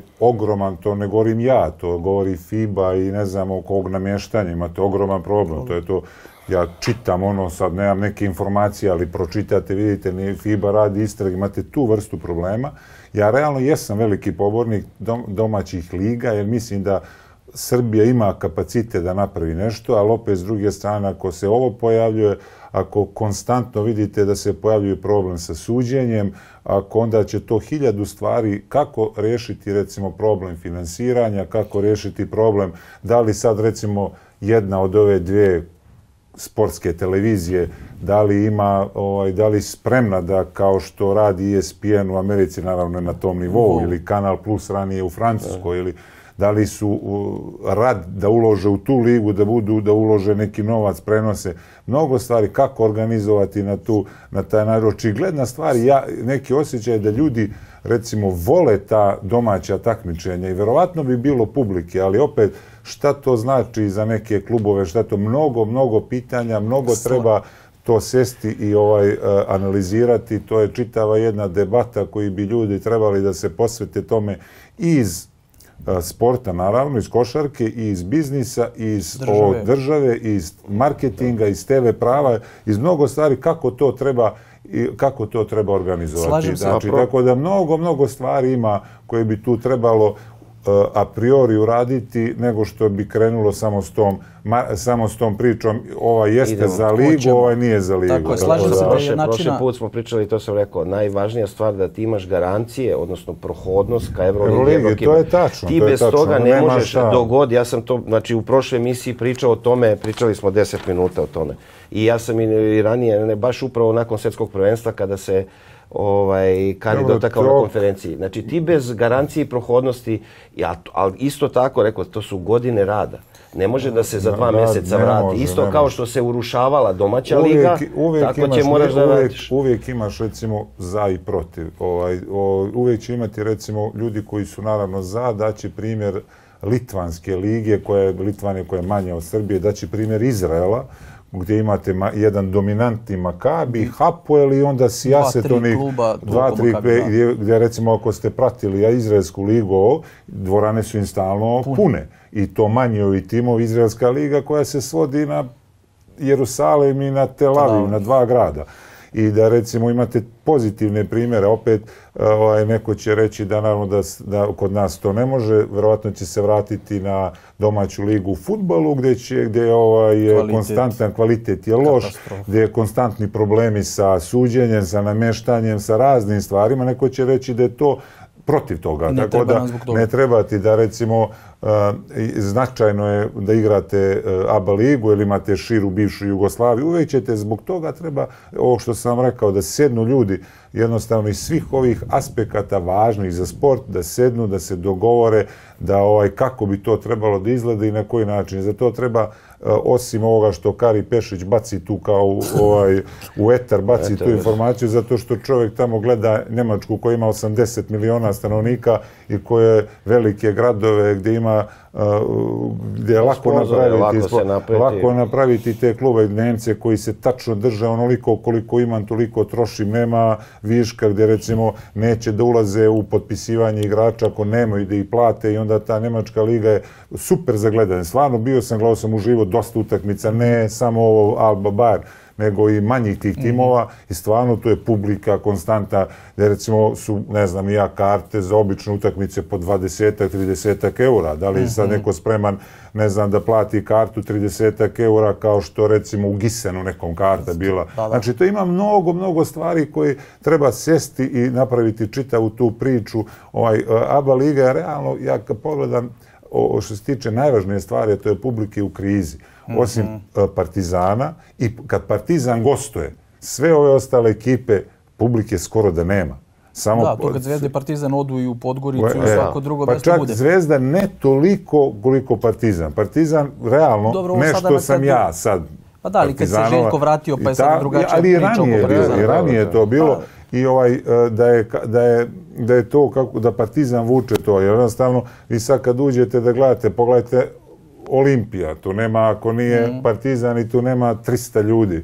Pogledajte U- u čak i... hali od 12.000 to deluje isto je Sa- sablasno. Sa, isto je takva budućnost, isto je, svi ti Slažem. timovi, da ne pominjamo, znači to je onaj u krizi, jer realno je, publika je ta koja bi trebala da bude tu, da bude zadovoljna i ovaj način isto ovaj, napravljen čitava jedna disproporcija gdje su Partizan i Zvezda toliko iznad svih Dominantni. dominanti, da verovatno sad vidjet ćemo kad dođe da se igra ta utakmica, to je sad donekle budućnost, tu figurira kao neka treća ekipa, pošto ima, mislim da su bez poraza, koliko je bilo, U 5-6 prvenstvu, utakmica, i da vidimo dokle će oni da, ovaj, dokle će oni da dobace. Sve ovo stalo je, to je, bit će da- tako nekih kiksića, možda kiks neki jedna utakmica, dvije, ali to, je, Slažem to se. će bude u suštini... Partizanu ne odgovara studentski centar. E, pa izgleda, da to. ovaj. izgleda tako da... Slažem se da, da deluje koji jednačina, ono sa mnogo nepoznatih, Nepoznatih. Ali da ne zvuči baš do kraja utopijski. Ne. Samo taj scenario gdje se pričalo, gdje se ne ponavljamo od prošlog puta, mi će ja, gdje se pominju Dubaj, London, Pariz, gdje se pominje širenje lige, gdje se pominju dve govoriš- konferencije govoriš o o Euroligi. Gdje se pominje Pa povratak onda ne Rusa. mora da je zovu Euroliga, onda će to da bude uh, svetska liga, evropsko arapska Evropska, liga. NBA. Ja sam, ja sam realno to ja sam realno protiv toga. Sad Ne, ne, ubacivanje okej. nekih veštačkih timova zato što dolazi iz Dubaja Ali ili iz to- Saudijske Arabije gdje će da bude ove to je potpuno van svakog Ako smisla, to van svakog u situaciji van da su oni svakog spremni smisla. toliko para da ulože u, u, u Ali to je Euroligu, van- u Ali to je van svakog smisla, to nije Pa ne, ulaganje. To je, pa, to je novac gdje mi imamo te neke, verovatno, nafte na, i rešili smo da to potrošimo negdje i sad ćemo mi da pravimo ko što je potpuno van svih, ja govorim sa košarkaškog, ovaj, van svih van svih standardi, van svih ovaj koš, eh, jer realno ja Euroligu ovaj što se tiče ovaj para posmatram na jedan način da su oni kad bi ušli tu možda ne možda nego reko znam čuo sam da je Žalgiris i ova dva, dva a, njemačka tima su, a, da kažem, na nuli ili su pozitivni. Ovi ostali su svi u minusu. Jednostavno kao da imaju donatore. Kao recimo, ja to sam naveo u primjer recimo nekog a, kafića gdje recimo kafić e, ima jednog čovjeka koji mnogo voli taj kafić i on svaki mjesec tom kafiću daje 10-15 hiljada eura zato što mu je super prijatno tu sjedi, a generalno u tom kafiću ne sjedi niko. I nema nikog i da on nije to čovjeka, oni bi bili neprofitabilni, bili u minusu. Tako i Evroliga, Evroligaški timo. Imate Real, zvanični podatak koji je Real sam objavio da su za četiri godine minusu 100 miliona eura koje je pokriveno iz Barsa, futbala. Barsa za Čekaj, evo prošlu sad da godinu, navedem mislim, 30 primjer. miliona. ali, to je, ali, ali to je znači, ali to je znači da je fut, A dobro, zato što košarka je neprofitabilan sport. Ali Mićo može znam, ta, gledaj, ali može da bude u donekle, ne može kao futbal. Da Ne, svesni nisam smo, rekao da znači, može, Mićo, ali ta košarka mora da se radi, da se dosegne slažem do, da bude do nule. Ne možeš ti, a jednostavno futbalski klub te časti. Imaš recimo Armani, Đorđe Armanija, Pa koji jednostavno voli, uživa to, on ih čašćava, kao taj neki čovjek u kafiću. Ali, ali, ali Ili da se imaš- ne lažemo da on ima beneficije neki od države, da je to svesno urađeno i što se tiče njegovog biznisa. Znači, nije to Moguće, samo, moguće, e, ja ali, sam se probudio pa preko noći i hoću da fudbalski ulažem. klub Lyon finansira, finansira Asel. Imaš I mnogo ve- tih koji je primjera. sad u problemu. Da ne govorimo o, da ne govorimo o Zvezdi, Partizanu, ruskim timovima koji su finansirani od strane države. Da. Tako da, da imate sijaseti, ali opet to su sve timovi koji se prije svega, ja mislim, prije svega zato što ovaj to traje godinama, zato što timovi očigledno navikli na taj troše više nego što mogu da prihoduju, što mogu da zarade od, ta, od tih parametara koja su za sada ovih posljednjih, u svijetu sporta poznati, prodaja karata, e, TV prava, prodaja dresova, tih stvari koje su poznati kao neka profitabilnost i neki sponzori kojima se to isplati, koji su profitabilnost jednog kluba. I oni su navikli na to i oni jednostavno troše i e, ne razmišljaju da preplaćuju neke igrače samo zbog toga da bi kao bili konkurentni. I ti, to je recimo, ovaj, to je neko moje viđenje tog nekog ovaj, Evrolige i ona, ona u stvari se ko, ko trlja, ali uvijek će doći do toga da će neki klubovi da nestanu. Pojavit će se neki na trenutak, vi kad pogledate Euroligu, Euroliga je ubitečna za neke manje timove koji se pojave. One, Slavsko, Šljonska. na Daruša. Faka. Daruša Faka, gdje je recimo ta Ali Duž glavni sponsor je bila, evo, Ali da a, su letali. Doraš, tako. Imaš Tako, i. Gran Canariju koji su uvidjeli to, pa nisu htjeli da igraju htjeli. prošle godine. promi- Imaš mnogo timova koji su ovaj, nestali. Nestao je Bamberg, čim ih je ovaj Brose odustao od sponzorstva. Nestao je Bamberg s tog, s tog nivoa. Možemo, možemo da se ovaj, jednostavno košarka je aj kažem, sport generalno je ovaj frekventna stvar i konstantno mi bez obzira što ovaj eh, košar ekipe čak u košarci bude, post, nestaju i postaju neke nove. Imate neke možda sa većom ili manjom tradicijom, da se ne vraćamo u 70. i 80. godine o prvacima Evrope, Češke, Zbrojovke ili Varezea Vareze, ili Injis, recimo Vareze, Injis, Cantu. Vanje- Kantu, timovi Da. o, Bayer Leverkusen, imaš mnogo timova koji su bili prvaci neki u nekim, ali su nestali. Jednostavno tako ide i to je, to je neću- neminovno. neću Samo ću, ko- moram, ovaj, teo sam, ne mogu, ovaj, nisam teo da ga prekinem, a kad kažeš je, nešto mi to bilo zvučalo jedan čovjek koji je odlučio da finansira kafiće, nešto. To mi je bilo nešto. A, to, pa da to je- prekinem jedan, a, misliš, da li je a, ovdje, bacamo neku aluziju, da, nešto, aluziju, jasno da, meni je. jedan čovjek koji je tako. Htio si da je mi se- vratiš na ono prošli put. Ali, ovaj, Ne znam o čemu priča. Da, da, sam nemam pojma. Ne, nisam, ali, ja- stvarno nisam mislio na to. Ma Ti znam. znaš moje opredeljenje, Ma ali stvarno ali nisam... nekako izgledalo to, jedan ali čovjek je odlučio, jedan čovjek. Ali stvarno nisam Ali hoću mislio da na kažem to. na ovo što je ovaj, Drole pričao to u minusu Real Madrid 100 miliona. Imam uh, ovaj, informaciju, to je tačna informacija, f- uh, košarkaška sekcija Real Madrida u sezoni kada je osvojila Euroligu u, u Beogradu, to je bila 2016. mislim. 18. 18. 18. izvijem se, 2018. Osvojili su ACB ligu, Uh, prodali su uh, Luka Dončić je još uvijek bio u Realu i on odlazi u Dallas i imao je recimo u klauzuli dalje bilo 3-4 miliona, on je uh, maksimum je 2 i on je doplatio. Real košarkaša, Tad 750.000, ali nema veze. mislim da je više bilo. Da je Zaokružio, nešto. zaokružio. 750, Onda je, nema veze, on je buyout, onda- 750 NBA, Buyout. tad, tad. Dobro, onda je on uh, dodao još jedno, dva, Da, tri. da. Ali hoće kažem, e, košarkaška sekcija Real Madrida je završila sezonu sa minusom od 28 miliona eura. Znači osvojili su Euroligu, hoću kažem to kada si pod okriljem Pa da. fudbalskog kluba i tu znači tu to je no limit Real Madrid e, e, Barcelona dok je e, Bayern to sasvim druga priča, ovo što je Drole rekao, tu nema tu koliko Trošiš je, koliko trošiš možeš. koliko možeš, Kružiš koliko i nema to. Pa Real Madrid čak i više i, i Barcelona, hoću kažem, to su... Jedini tim koji u tom, kad praviš tu neku paralelu, koji troši mnogo para na košarku, a u stvari mu donosi benefite na jedan potpuno drugi način, to je Efes Pilsen ili ja staje, Naravno. to je Anadolu Efes. Iz prostog razloga, zato što recimo ja, Efes kad je prvi put bio prvak Turske, 80. i ne znam, treće, čini mi se, nemoj da me držiš za reč, 80. i neke godine, 30% je porasla prodaja piva Pa da. u Turskoj. I oni, njima je to jasno, da u stvari taj novac koji oni troše, to je novac koji je marketing, Pa, koji je marketing i oko... koji zarađuju. I, ko- i, koji, i oni drugi recimo način. na drugi, on ne dobija taj no, tim direktne novac, ali jednostavno dobiju i sad na kraju krajeva prepoznatljivost Efesa kao brenda je ovaj bila kroz košarku, to je jasno ovaj svima tamo, tako da oni više na taj način, aj kažem, povezano i paralela između uh, sporta i biznisa, tako da na taj način su oni uspjeli da uh, Pa jedno amortizuju 50 taj... miliona od os- PFs. E sad pričamo, sad pričamo o tome, o, o novcu, o nedostatku novca, o neprofitabilnosti košarke, o klubovima koji su u minusu. O se, neću da zvučim ko neki PR Dubaja i zagovornik i svega. Samo hoću da kažem da taj novac koji bi oni doneli bi verovatno mogao da upumpa Ali te nedostatke. Ali ne- ligi, ne svim. Ligi, a, Ako- možda da se a raspodeli na neki način, da pa kroz kao TV bude- prava. Kao, Ne, znam da li bi znaš bilo koji, ili kroz neko da umjesto sponzorstvo. što date igraču 2,5 miliona, da mu date milion i po. Dobro, To, ti je, to. je osnovna. Druga stvar je da smanjite broj utakmica, da automatski, jer ovo sve sa ovim ogromnim brojem utakmica, može, izvini. da smanjite broj utakmica, da jednostavno a, to je automatski manje putovanja, manje hotela, jedno, jer ne, osim velikog broja utakmica, vi tu nešto ne... Ako bi, ako bi bilo 20-24 kluba, U podeljeno dve na grupe dva, to, tu ima 12, smisla, to je eventualno, to 22 proširenje. utakmice. Proširenje sa, dva, sa dve, pa je svakako... sa dve to je divizije, sa, kažem, tim ekipama.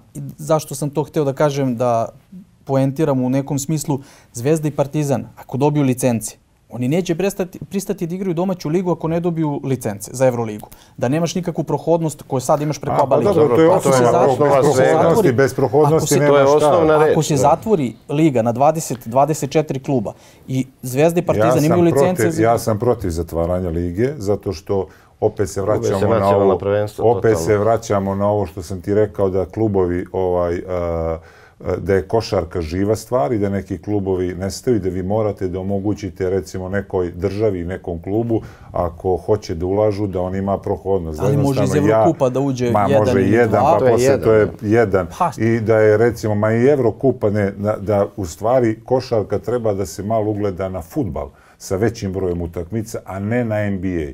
NBA je jedna zasebna liga u okviru jedne države, u jednom poreskom sistemu, u jednom uh, platežu dolarima, ne znam ja, u, u ovaj, to je, znači jedna, jedna država ima svoju ligu i oni mogu da je naprave kako hoće. Ovdje vi vidimo, jednostavno nije isto biti uh, nije isto, uh, na kraju krajeva, porez nije isti, ako hoćemo, u Španiji, nije isti porez u Turskoj, ili kod nas, ili u Rusiji, nije isti. Jednostavno, ne mogu da budu, nisu u istim uslovima, ovaj, nisu u istim uslovima timovi. Tako da to, opet ja nisam za to, stvarno nisam, jer mora Okej, da postoji neka, neka prolaznost, protočnost, da, se, da daješ mogućnost nekom timu da se pojavi. Što bi vi sad, recimo, evo, zatvorite ligu, nije ni bitno na koliko klubova. i album, nebitno. Ma nije bitno, koliko zatvorite na koliko god hoćete klubova, na 15, 20, 25. Šta ostali klubovi u rap, šta je vaš motiv da vi bavite se, šta, kao da budete Pa To, neki, je prošlo, to smo prošle nedelje da pričali. budete to. neki razvojni tim, neke ekipe, da forsirate mladi igrače, gubi se, gubi se, ovaj, eh, gubi se jednostavno želja. I šta ako se jedan od tih klubova u toj ligi zatvorenog tipa, jedan ili dva, desi se kao što se desilo sa Darušafakom, sa tim propadne, kako, odakle će taj klub da popuni, šta? Opet ćemo nekog drugog da ubacujemo u ligu. Pa- i, i potpuno nisam, nisam saglasan sa tim iz ovih razloga da, ovaj, tako da ako to mi je sad meni recimo neki ovaj prva stvar koja mi pada Pošto, na pamet. poštujem, Znao nego sam samo da ne treba da ga zovem. Znači, to je nevjerovatno. Ovo, ja Poštujem. sam... Volim, ne, ja volim da se, ne, ne služimo, možemo ne, da evo se šta složimo, sam, pitaj, ne samo što ja mislim da je to Ja bih neminovnost. voleo da se vrati sistem kao što je u futbolu. Znači, prvo, nacionalna prvenstva su pre svega na gubitku i to nije samo ova manje, manje zemlje. Čak je više ta, to interesovanje ni u Španiji nije kao što je nekada bilo. Oni e, gledaju špansko prvenstvo, osim kad je derbi ili neki par utakmice Maltene igraju sa rezervnih 5, 6, 7 igrača, odma, odmaraju najboljih pet. To više nije. I nacionalna prvenstva su na gubitku već godinama. Tako da je to sad nešto što... Španija je baš specifična, izvini, jedan izvini što te prekidam, Da. ali Španija je baš specifična po tome ako gledaš koliko publike ima, da mnogo više publike ima uh, za vikend kad igraju ovaj Dobro, to domaće kod njih, to je- prvenstvo. to je njihova Kad govorimo o. Španiji Da. i o izvini, govorimo o Barceloni, Realu, Real, Barcelona, pa dvorane su poluprazne što se tiče pa Evrolige, zato- poluprazne i to je recimo re- Evroligu što se tiče publike, ja bih rekao drže drže tri tima. Partizan, Žalgiris i Makabi. Aj sad Makabi ova situacija da ulazimo Ne u to, ali kad govorimo, da. ali govorimo tri tima gdje je popunjenost dvorane aj ka skoro 100%. I ta tri tima kad pogledaš sve ovo ostalo je, ja recimo bio sam minimum 10 puta sam uživo gledao utakmicu u Minhenu koja dvorana, ne znam, nema više od 7000 ljudi. Gornji ovaj prsten je skroz u mraku, skroz Ali je se, ne vidi, prazan. ali se ne vidi na TV-u da je Ne, prazan. prazan. Ja sam gledao zamračen. to sam gledao, znači bio sam sigurno ne jedan put, na deset utakmice je bio prazan. Znači, tako da imaš ti, Ali ne znam ti, da li se slažeš da je ovo da, da, inter, da ja kažem, u, nacionalna prvenstva Španije, koliko je to ranije nekad, uh, ti budeš u četiri, kao UEFA, ali tako? A, ti nisi u četiri najbolja ne. tima, ti ne možeš da igraš najbolje takmičenje. Pa, to, ako, to je po meni najpoštenije, da pa se Imao vrati. si, imao si, i- pa evo, pa za znači, nju smo je to. zaboravili, Malaga jedno vrijeme Pa bila evo, ni dominantna, Kaha, ono. Kaha se skoro da je ono tamo jedan osrednji klub isto to kroz Euroligaško ovaj E pa ona je recimo u jednom momentu imala tu famoznu licencu, taj ugovor, a bila je deveta ili deseta u španskom prvenstvu. Znači ti, Pa evo, ti realno možemo da kažemo nemate kvalitet, to je recimo u tom momentu, a hoćete da igrate Euroligu, vi ste deseti u domaćem prvenstvu. Znači Jeste ima, naopako, ima zvuči. devet ne, timova ispred vas. Pa evo, ja sam dao primjer isto Italije, ajde da kažem Španija, recimo ima, znači te, ne, jedna, e, do, do, do koju godinu pre ni Valencija nije mogla, da, osim je gledala šansu kroz Eurocup. Tako? Um, jedna Dobro, unikaha. dao si, dao si dobar primjer, recimo, zato što su ti timovi e, su tu zbog ovog, e, već koja je ovo godina da Rusi ne igraju? Treća, može li biti? Druga? Ne, ne, druga, druga, druga. druga, ovo je druga, Druga, od ono, početka. red- Da, i ono što, je, što su na pola prekinuta. Znači imaš da tu CSKA u jednom momentu su bili Zenit i koji je bio treći? Ovaj, Pa, e, rotirali su bio Unix ovo, Kazanje e, i Kuba, Lokomotiva Da, da, Kuban. bili su u tom momentu, izvini, Uvijek je je treći bio taj koji... Unix, Unix, te izvini, te, da, Kazan, godine kad Unix, su da. prekinuli bio je Zenit, Unix i CSKA, da, da. Da. Tako, a recimo i konkretno, evo primjer italijanskog prvenstva, gdje Armani godinama čak i, i Virtus nije mogao, bez obzira što osvoji titulu, ne može da ode u Euroligu, jer jednostavno bio kad je bio trener sad- Saša Đorđević, Tako je, tako? je. I sad koliko je, i sad ti ra- razmišljaš, iako i tamo je velika razlika Da, između. Armanija i ono, i sad e, ranije je to bilo neki Benetton, je, je tako, borba za prva četiri, ko uđe u polufinale ide u, u Euroligu, to se zna.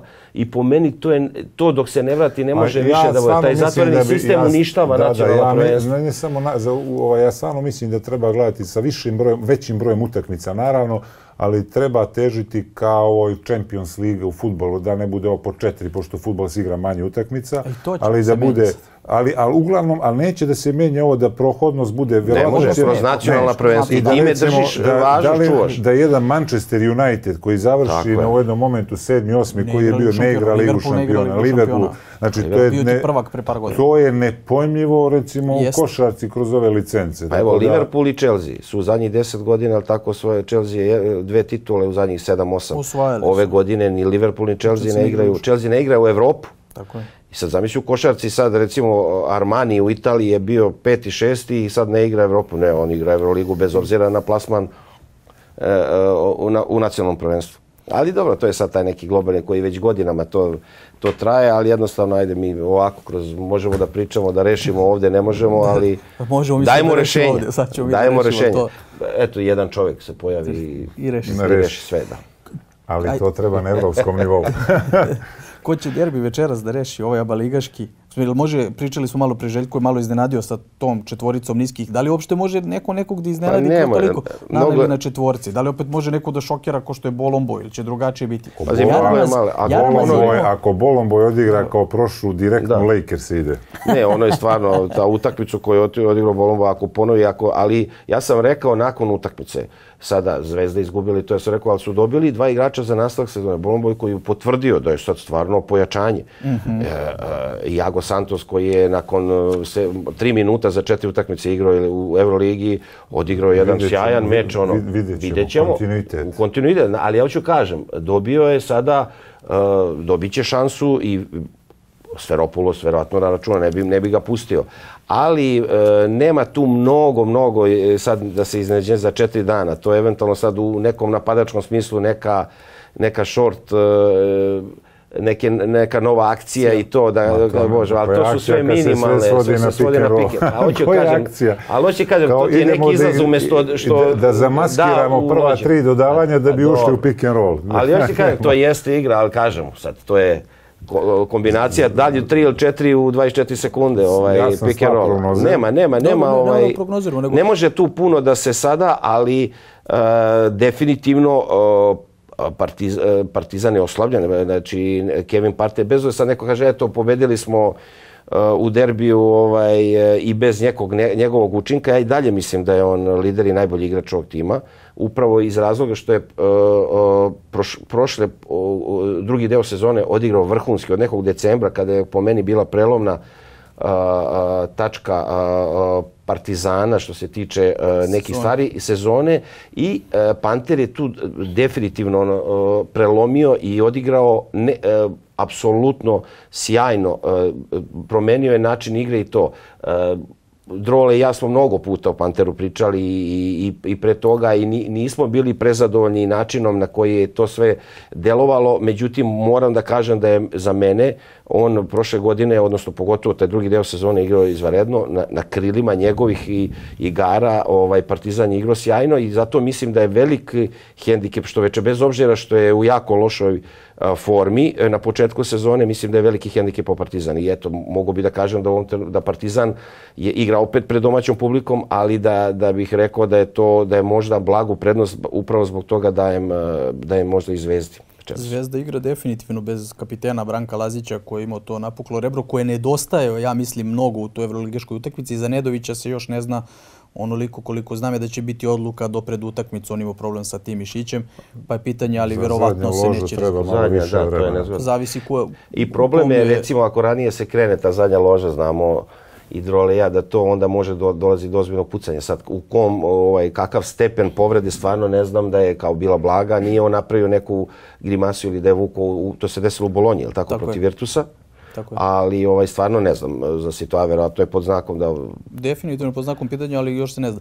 Kako vam led izgleda? Zanima me zbog... Uh, pričali smo isto prošli put, non stop se vraćamo, morat ćemo još neki put nešto pričamo, se ne vraćamo na prvu pa epizodu. Pa dobro, mi moramo sada... Ali ovaj led je, ja sam rekao, najkonstantniji igrač, možda kažeš najbolji panter, možda je Ledi na neki način na ono što daje tom mirnoćom, a opet tom nekom ludošću u svojim situacijama, tu je negdje zbog pozicije, zato pitam. Onda da ti ne, ovaj, da ništa sad ovaj, ne dodajem na, te, na tu tvoju konstataciju, dovoljno si rekao. Da, dobro, hvala. Šalim se, ali mislim ne, u pravu si to što si rekao, jednostavno sezona je tek počela, to je nekoliko utakmica i... Da, da, da. Ovaj, ali u pravu si sad ovaj, tim nekim ovaj, šutevima iz ugla, bacanjima. bacanjima, skokovima, dobro, tako da daje tu neku mirnoću, što kažeš, igra dobro, očigledno već aj treća sezona Treću realno je da igraju dobro, nije novi tim, zna trenera, zna sve, mm -hmm. realno je da igra dobro, igra na kraju krajeva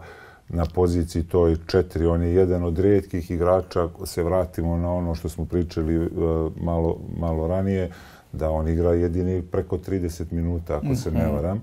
Sad, da li je to je verovatno posljedica ovaj, uh, trenerskog stafa koji ima nesigurnost prema uh, četvorkama, mladim četvorkama, neće da ih pusti da igraju i onda Lede jednostavno verovatno se pokriva sa Smajlegićem na četiri, sa Nanalijem i sa nekim drugim, ali kad bi izvukli, verovatno igra 30 i nešto minuta. Tako da ovaj, u toj, i on to sigurno osjeća da neće izaći na prvu grešku, da će imati sačekat će svojih par minuta Poverenje. da bude, tako da vjerovatno je to u pitanju. To je na taj način, kad imate neku dozu kvalitete, lakše igrati. Posle u Euroligi, mm. malo pre smo isto pomenuli u nekom trenutku, Crvena zvezda čeka Bayern. Zvezda ne sme da izgubi kod kuće, to je četvrtak, 18.30.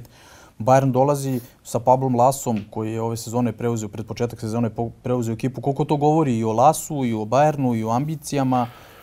Pa dobro, to je već, e, to se već znalo, već, jel tako da, Malteni na kraju prošle sezone su već oni bili u nekim pregovori, pričalo se, jel tako, ko on je bio, Laso već bio slobo, slobodan na Jeste. tržištu već Samo dugo. s tim zdravstvenim problemima. Tako je, tako je.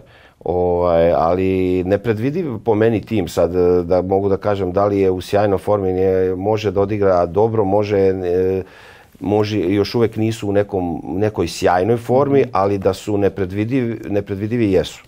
Tako da ovaj gledao sam par, nisam pogledao svaku utakmicu, ali imali su ovaj i dobrih e, perioda igre i dobrih utakmica, imali su i, i loših utakmica, tako da sada oni oni sigurno dolaze ovaj u nezgodnom trenutku protiv Zvezde, ali isto tako sve će to biti drugačije ovaj nakon al tako nakon večerašnjeg ovog derbija u Jadranskoj ligi, ko će u kakvom raspoloženju ući u taj meč. E, tako da, kogod pobedi e, u večerašnjem meču, pričamo o derbiju, će pred ovaj evroligaški meč ući sa ogromnim samopoznanjem. Imaju i NBA igrača bivšeg Serži Baka, igrao je toliko godina tamo, doveli su. Ser, Serži Baka ovaj, pred penzionisanjem, Ali tako da je, neće, im- da.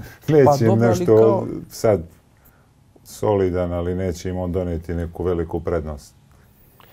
Da, on ima ime, ali generalno njegov Zenit je odavno prošao po meni. Da li će uspeti iz njega da izvuku neki maksimum, to ćemo vidjeti još je rano. Tek je prošlo uh, pet kola, ali tako, ovaj, ali vidjet ćemo sad da li će, da li, da li, da li će Laso ovaj, uspeti da od Bajerna napravi tim ovaj, ka, za play-off. Vidjet ćemo sad u ovom meni, trenutku me- je meni to u još stvari, uvijek... Meni ovo djeluje na drugi, meni djeluje da je Barnes odlučio da sa Lasom ide na neke duže, Duže staze, staze. i da to nema, nema veze sa ovim sad iz Pa ne, ove ne mislim da je on, da je on doveden da po svaku cenu do, uh, uđe u play-off Ne, i iz ove perspektive, da iz ove perspektive kad bi gledao sad ne mora ništa da znači, a to je Asvel, Alba i Bayern su zakucani ovaj, Za dno. za dno. E, za Bayern ne bi, ali Asvel i Pa- Alba pa, e, pa ja sam mislio Bayern na ne. Albu i sad sam dodao Bayerna, Bayerna. ali meni više delo je to kao Pablo Laso koji će tamo da ostane nekoliko godina i koji će a, verovatno kroz neki mlađi igrače da pridodaju Bayernu i koji će pokušati da naprave neku bolju selekciju igrača i da ovaj naprave nešto za nekom narednom a, periodu. Jer realno iz ove perspektive kad gledate, to je nebo i zemlja da Bayern nema tu, izgubili su 40 razlike u Barceloni, tako da Jesu. ovaj, još ako i Zvezda dobije što je realno da ih dobije, Realno. ne mora da znači, ali realno da će ih dobiti, oni već su u samom uh, problemu, su već od samog, uh, samog početka. Jer, iako ja sam na samom početku Euroligije Bayern nisam svrstavao u tu grupu, mislio sam da su Asvel i Alba dva najgora, da, ću, da će budu, a da će ovi ostali da budu od prvog do recimo tamo nekog desetog u dvije pobjede. To je neka, to je neka moja, Mhm. kako se zove, pretpostavka, jer bez obzira na Real koji ima 5-0, 5:0, jedini. jedini i da to ipak će oni ne ići, traje dugo, ima mnogo utakmica. Morat će da dođu- pogube negdje. Ne, morat će da gube i doći oni neke krizne momenti i da ovaj, ja mislim da nekako dosta su izjednačene ekipe, dosta je sve istih igrača koji se Svi pričali smo, rotiraju. sve iste igrači, kako će tu ko da se uklopi. Ja stvarno mislim da će to još pogotovo sad što su uveli ovaj prepisivački ovaj iz NBA-a da Play-in. od ova ekipa, da će tu u tih, 90. des, u tih deset mjesta da će biti da ovaj da će biti razlika u teke jed, u dvije pobjede da će ko će ovaj ko će tu biti i ko neće tako da ovaj da dođu da vidimo kad dođe decembar i januar ovi krizni Ma, momenti ovaj ko će da izgura tako da to ovaj vrlo teško je prognozirati bilo šta i ne postoji osobenost u igri ni jedne ekipe. Mhm. Ovo što apsolutno kao sad da, mi, da zažmurim, da ne znam, da obuku neke druge des, dresove ne bi prepoznao. Svi apsolutno igraju iste akcije, iste, kad vidimo onu akciju koju su prepisali od ovoga sa North Caroline koji igra, ja mislim, svako igra tu akciju u, ovaj, u Euroligi, čak i u nekim nižim ovim a, ligama, svi apsolutno igraju to i onda na kraju nema tu, ti, ne bave se tim nekim koji igrači ja imam, kako ja da Kako se izvučem, prilagodimo igračima kako koje ja da izvučem maksimum iz nekog igrača. Recimo primjera ako je Mića Berić u ekipi, ja sigurno neću da igram pick and roll, ja ću O, da igram, ja ću da igram, pick and roll, ja ću da igram izlazne, Tačno sam znao, ne treba da... Ja ću da igram neke stegere ili izlazne kretnje, ali E, oni, a, ovaj, oni Daću ti, konstantno... daću ti neke sekvence da vidiš kako Pique Baš. Vasilija asistent. ali oni ovaj, ali oni konstantno forsiraju to, imam tu istu, kao imate sijase trenera koji ovaj koji forsiraju tu jednu istu ovaj filozofiju i sad zavisi od toga verovatno koji su im igrači, neće oni prema njima da nacrtaju neke akcije, da naprave nešto što bi njima to pasovalo, da bi bili još bolji, da bi bili još produktivniji, oni će se držati te svoje neke uh, i svojih akcija i ti igrači će izgledati možda i loši na terenu. Tako da to sve zavisi, jer jednostavno sad kad bi ušli, vidjeli bi da neki igrači su promijenili otprilike jedno od 5 do 8 evroligaških timova, tako da nema te neke kreativnosti, nema te ideje kako da rizikujemo sa nekim.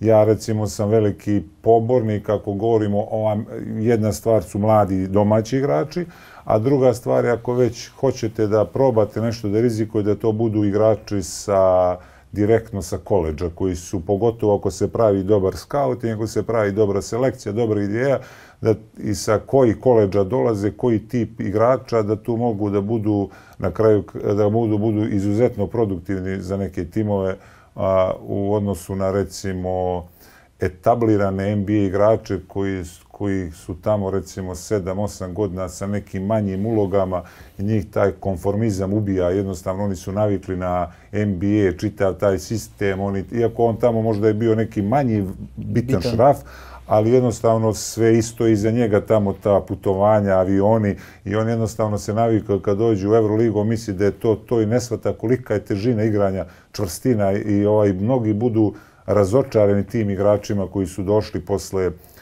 6-7 godina igranja u NBA-u. Tako da, a ovi igrači direktno s koleđa, on je prvo, ako dođu sa koleđa koji su treneri gdje su čvrsta ruka, on je navikao da radi i on je spreman ovaj, da, da, da, da, se vratim na umićinu ovaj, da je gladan i on je spreman da se da je spreman da daje taj neki maksimum. Eto, malo to, sam bio preširok sad u ovom, ali oprosto. Ovo što si rekao, to, ali isključivo to mogu da sebi priušte timovi koji nemaju prevelik pritisak rezultata, ambicije neke a to u, u sadašnjoj Euroligi vrlo mali broj kluba može sebi da priušti da krene onda sa... Ne, ništa, ne, ne, ne, onda ne krenu da, je, da biraju igrače, pa to to. nek vrte, onda pa ne, nek vrte. Ne, to vrte. Nek, vr, nek vrte, recimo, Darum Hillarda u jednu šest klubova, nek, ne, recimo, ne, ne, ne. njega uzimamo, on je prvi rekao, pao. Ali on je kažem, prvi vrlo pao na... mali broj kluba, a to je, recimo, znači Aser koji nema pritisak rezultate, Alba, evo da kažeš Bayern koji je odlučio, pa da krene sa tim mladim, ali sve ostalo, sada ti da, da recimo Makabi odluči to ono pritisne za sad Fenerbahče odjednom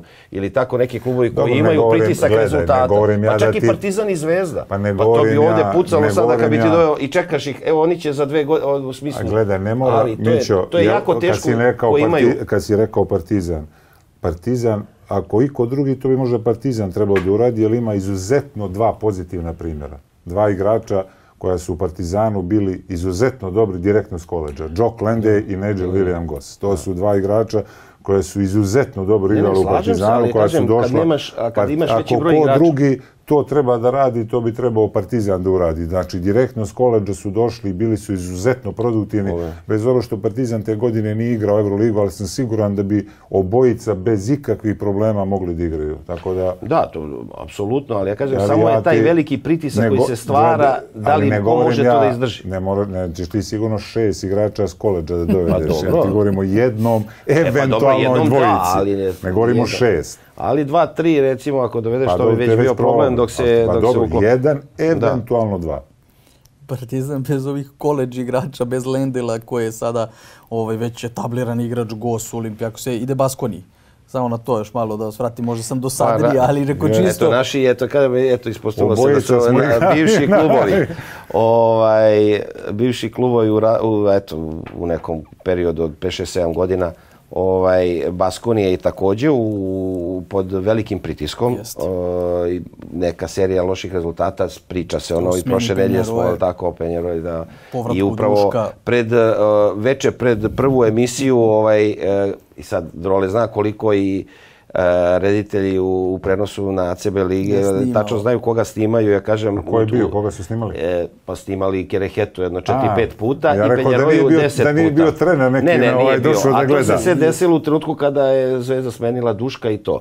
Ali hoću kažem, taj pritisak javnosti i već se spominje i sad reditelj koji u zadnjoj četvrtini e, Baskoni izgubila od uh, Unikahe u derbiju ovaj, i jedno Penjaroja je bio 5-6 puta, a Kereheta sa ekipom jedno 5-6 puta i tačno, aludiraju. Ali mi će ti kad si pomenuo, to... kad si se dotakao Baskoni, ti znaš da Baskonija radi stvarno ne, ne, jedan ne, ne, ne, ne, ne, to da. posao. Ne, ne, to, to stoji, to stoji, to razumeš. Znamo čoveka, Alfreda Ake, Salazara. Tako je, koji je krenuo po Argentini. Koji je to, tako je. koji su prvi, koji ne, su hoću...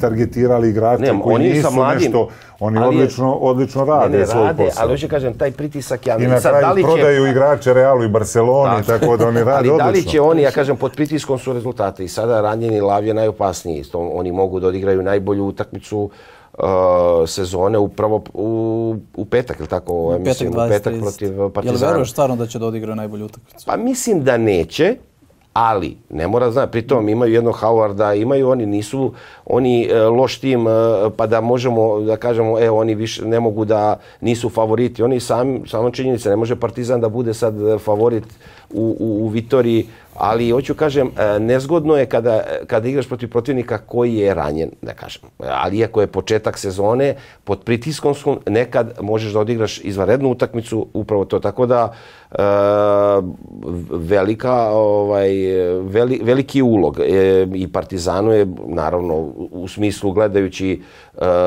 u napred značajna pobjeda, dok Baskoni je onako, mislim da je, će biti što se nastavka sezone u Euroligi tiče biti ili ne biti. Sve se svodi opet, hoće li da pogode šuteve? Pa dobro jeste, ali hoće kažem. Naravno. Marinković, ovaj, kako se zove centar bez Notre Dame, što je bio, ovaj, sve se, sve... Ma ne, ne, slažem se, ali ne, pričali smo kako, da li Baskoni je to, ali, ali, imamo neke da im igra poznajući, ja sam, ovaj, ja kažem, bio u tau, tad je bila tau keramika i stvarno u tih godina se stvarala jedna stvarno moćna moćan klub kao što je u ovom trenutku uh, Drole je igrao u sezone 2005 5 6 Ovaj, tako da sad, uh, ozbiljan klub i, i imaju uh, predsjednika koji je tu od samog početka. Pa znaju kako Kereheta, bivši igrač i to apsolutno je na jednom tako visokom nivou grad koji živi za košarku. I oni, naravno, neće oni odreagovati na prvu loptu u smislu pritiska, ali uh, ali da, e, e, mislim da recimo nakon poraza protiv to može da bude svašta, pogotovo, a i znam koliko voli recimo Duška Ivanovića. Kereheta jako voli Duška Ivanovića, e sad to su te neke stvari. Vidjeli smo jedno, vrat, tri, tri, put, tri do sedam puta ga vraća. ne, tri puta, u tri različite, da, je, i sad evo, pa, u vreme korone je Duško svoj, ono, zatvoreno, da, ali to je drugačija. To osvojila titul Valenciji, da. Tako da sa te strane... Dva puta je bio prvak, je tako? Dva puta, prvi ono put je... Sa ovim bre, znam. Oberto, Skola i ne, to... Ne, ne, bio je prvi, ja mislim, i sa ovim bre, kako se zove bre, ovaj bre, San Fer, ovaj, Fernand, ovaj... San Meterio kad je igrao. Kad je ono, dao. Pa onda ima mislim tri, da, da li onda da, tri titula? Ili prvu titulu je, mislim, osvojio o, u prvoj ili drugoj godini 2002. 2003. Ja tako nešto. Ja to napamet ništa ne znam, pričali smo imali. Da, znam, ja to dobro, to nema. Zapamtim, nešto, znam, je. Otvori Google. Otvorim odmah, pogledamo. Ne, ne, sigurno, sigurno prvu titulu je sad ovo što kaže se dalje, onda, onda verovatno tri titule sa... Tako da, sve u svemu, sigurno, jako bitan uh, meč uh, za oba tima, ali će pod ogromnim pritiskom biti, biti domaći tim. Upravo zbog lošeg starta sezone. Vanje, kako vidite Vanje i Cody Miller McIntyre, isto još jedan bivši igrač Partizana. Pa meni se on realno ne sviđa. Ne. I mislim da, ne Vanje, Vanje je sjajan, dobro ne kažem, naši, ja volim Vanju i ovaj, napredovo je dosta i sve to. I dugo je tamo. I, dugo je tamo i nekako, ali dobro, na istoj poziciji, on sličnoj poziciji, ajde, ovaj, ovaj igra sve od 1 do 3, Howard kad uzme loptu, ovaj, ali ne slično i onda e, i moje već ove sezone imao par sjajnih utakmica, i sve očekujem da on bude u jedne sezone da preuzme tu neku lidersku poziciju, da ovaj ulogu u poziciju, ovaj, da li će to uspeti, ali uh, Vanja je sazreo i daleko je bolje i onako igrač u odnosu recimo na pre dve, tri godine. O, tako da, a što se, a, ovaj, McIntyre meni apsolutno nije igrač za, za Euroligu. Apsolutno nije On je strelac, ali informacije ne. koje dolaze iz svih timova da jednostavno nije timski igrač. Nije da, timski igrač ne vole ga nešto po, u svim timovima je to jedna konstatacija, tako da ne, ne znam šta se konkretno Ma, dešava, ali jednostavno kao da igra za sebe i da ga ne vole u tim timovima, ali dobro, on će svoju misiju vjerojatno da ispuni. Pa on će ispuniti, Odigraće ali... još jedno 4-5 sezona nekim, po nekim ovaj, tako. On ali što se mene tiče da on nije ovaj nije igrač od koga moramo da zaziremo. On će sigurno imati motiv kad igra protiv Partizana, upravo iz razloga što se bio tu. bio tu i rastao tako na pola sezone i tad su bile priče isto ovaj Šćepa je ovaj tad el tako bio ovaj u Partizanu i da ga slačionica previše ovaj i, i ne voli a nije to samo pita ovaj što se tiče Partizana a kada nemaš ti kada te ti ne možeš da budeš lider jednog tima ako te slačionica ne prihvati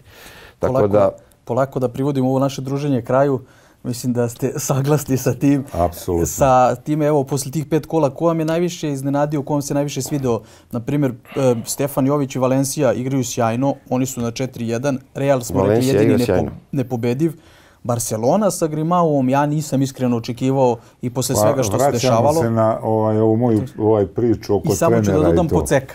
Euroliga dobila A da. možda jedno osveženje, taj pod nazicima navoda, ali cirkus koji Poceko nosi sa sobom je doneti u Euroligu, pa opet i neko osveženje i svašta se nešto Ali desilo za ja- pet kola već. Ja bih rekao da, da Asvel, apsolutno, ja ne znam, pri tom potezi sada, od, pritom ni- nisam verovao da može se desi da, da brat je ovaj, smenjen ovaj, brata, ali ovaj, mislim da Poceko dobro je, on je, ali još uvijek nije, mislim, on kadar da je on kalibar za, za neku evroligašku eh, ekipu, ali s obzirom da je Asvel tako kako, kako igra i Pa imaju dosta jednostavno imaju koji su u godinama. a imaju i da, ali i hoću kažem čitav taj i koncept i ono i pritom rekli smo ono da se dotakne, ja sam i rekao, Asel i Alba definitivno ne pripadaju ovome, ono, demantovala me Alba protiv, ovaj, pobjedom protiv Armanije, ali Moraju da Armanije moraju neku, pa dobiju, pa ali nisu- generalno, Pa nisu, ne znam nija, to pa ne, su ne, košarkaši, moraju da dobiju, ali ja moraju sam dobiju rekao, samo da dobit će eventualno tri utakmice, ali nisam očekivao baš Armani, ali Armani je opet,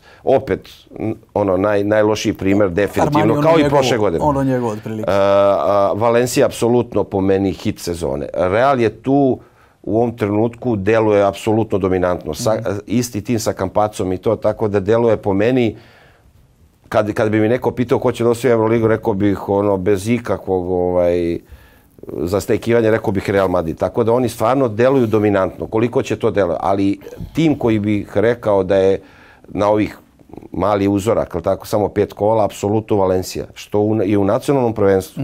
Apsolutni su imali hit. Sinoć su dobili, sinoć su dobili Barcelonu, u domaćem prvenstvu. Ko je dobio, da li se neko seti, e, seća da je dobio Žalgiri sa 30 razlike i 25 čitavu utakmicu u Kaunasu. Ubili ih. Ubi. Znači to je, ja kažem, Valencija je to i najnegativniji apsolutno opet Armani, ja ne znam taj tim i što, kako oni, šta rade, ništa mi, sin, oni imaju e, tri poraza, imaju dva poraza u domaćem prvenstvu. I to od Napolija i sinoć u Milanu od Pezara.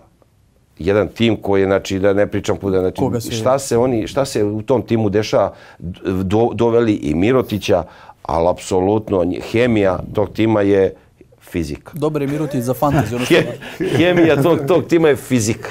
Tako da to je veoma apsolutno... mudro rečeno. Da.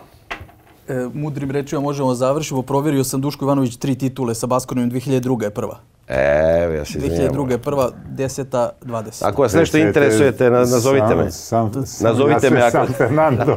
ovaj bre. Kakav San Fernando? Ja, igrali smo, ovaj, Fernando protiv- San Emeterio. Ja Jo, sve... to mi je jedan od težih poraza od role, kad spomene Kaha San Fernando, to je Sevilla. Ali zaboravio Tak, da kažeš jednu bitnu stvar, ako govoriš o tom porazu, da to nam je prva utakmica ikada u Euroligi, to je prvo kolo, to nam je prva utakmica ikada A ne, ne, posle... to je u Sevilji. Pričam u ti Sevilji. revanš A, u Pioniru. U Pioniru. To je već smo ušli Da, i da, pritom da. smo igrali sjajnu sezonu To je Euroligi. prva utakmica posle sankcija da smo igrali tako Euroligu. je, Euroligu i mi smo i bili onako, imali smo taj, ja sam i o tome pričao da sigurno ova naša, moja i Peđina generacija, to sigurno bi os, i- igrala jedan fal, odnosno on Da je nije- igrao te, da bi da osvojili možda. sankcija. Da nije bilo sankcija, sigurno naša generacija bi ponovila možda 92. i to, tako da, ali dobro, to je sad šta bi bilo kad bi bilo, ali kad kaže San Fernando, onda mi je u glavi taj Sevilla Caja San Fernando. Uz ovo evo... San Emeterio. A da, Emeterio, taj je, da. Uz ovo evociranje uspomena i da završimo, hvala Peđi što je pomogao da izvrtimo ovaj drugi pick and roll. Nadam se da je bilo prijatno u našoj Ali nešto slabo, slabo, sobi. slabo blok pravi. Da. Ne, Očekivao sam, Jače, očekivao sam jače, jače. jače udaranje Ne, pa- u bloku. Nismo igrali pick and roll, tako da... Ovaj, Jel možemo da ovaj, za, sljedeći put kad dođeš stavit ćemo pick and pop? A, ne, ne, dolazi, ne dolazim više, dosta je jednom. Bre, ovo sam zbog, te zovem. prije svega zbog tebe došao, tako Pa da ovaj, dobro, Nebojša je bio super ovaj... a, Ali pustit ćemo sad malo da... pomogne. Kad zaladi. Ko, kooperativan i to, ali ovaj, nema više, dosta je, Kad, nema kad šta zaladi, više da kad zaladi u decembru, ono kad kreće, ovo što ti rekao, decembar, brzo, je- januar. Brzo je decembar. Tu Pa nema. dobro. Mićo, kažem kao i prošli put, odličan si domaćin, tebe ne menjamo, vidjet ćemo ko će nam biti sljedeći gost. Nisam stigao kafu da skuvam, ali ovaj, propust ovaj put, Propust, pišemo minus ovaj. za sljedeći put dve kafe. Domaću. Ovaj, nadam se da su ljudi uživali kao što smo mi. Vidimo se sljedećeg ponedjeljka kada ćemo opet vrtiti pick and roll. prijatno. Doviđenja.